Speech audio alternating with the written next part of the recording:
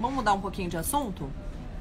Vocês lembram daquela denúncia de corrupção em um projeto milionário de games da Secretaria Especial de Cultura, que foi chamado de Casinha Games? Pois bem, o Tribunal de Contas da União identificou problemas e descreveu o que seria um cenário de irregularidades, tá? Na época, os parlamentares também levantaram que Jair Renan, que é o filho do presidente Bolsonaro, teria supostamente, supostamente feito um lobby para esse projeto que custaria mais de 4 milhões de reais.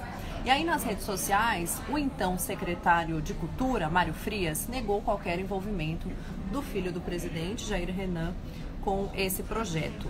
O TCU identificou, entre outras coisas, supostos erros que tornam o custo mais alto. O tribunal já determinou a suspensão de imediato desse programa em três das quatro cidades que iriam receber o projeto. Queimados no Rio de Janeiro, Sobradinho aqui no Distrito Federal, Salvador, Bahia. O objetivo desse projeto, chamado aí de Casinha Games, descrito no programa, o objetivo era oferecer cursos profissionalizantes a jovens vulneráveis nas áreas de jogos eletrônicos e também animações digitais. Pois bem, então quando o Tribunal de Contas da União identificou ali algumas irregularidades, é, acabou decidindo, né, é, determinou a suspensão